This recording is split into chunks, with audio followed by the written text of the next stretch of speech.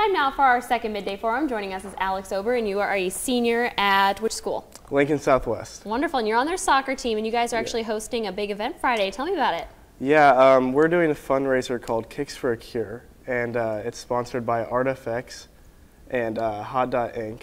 And so what we've been doing is we've been selling T-shirts, and uh, we're hosting the event this Friday night at 6 and 7.30. We're playing Southeast, and they've been helping us as well. So, um, you know, uh, we're just hoping to get a lot of people to come out and support the cause. It, all the funds will be going towards uh, making strides for breast cancer awareness. Oh, wonderful. That's great. And how much have you guys been charging for the shirts? Are they still going to be available?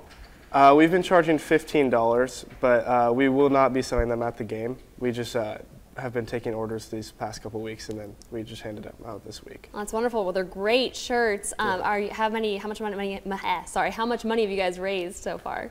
Uh, we sold about 250 shirts. Wow. So, um, I mean, that's about $3,000 in profit, but since we had some, our Hot Dog, Hot Dog Inc. sponsored us, so that's going to about, that will double our profits pretty much. Wow, So, that's amazing. Now, what was it like working with the school that you're actually going to be playing against?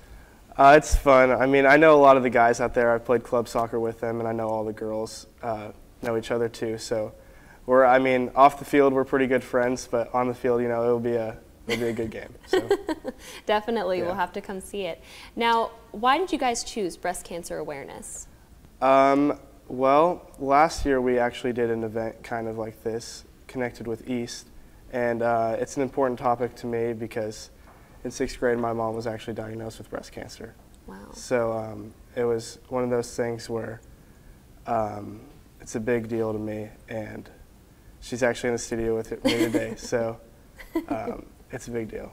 It's So something that hits close to yeah, home. for sure. Yeah. Oh, wonderful. And now, when and where the game again?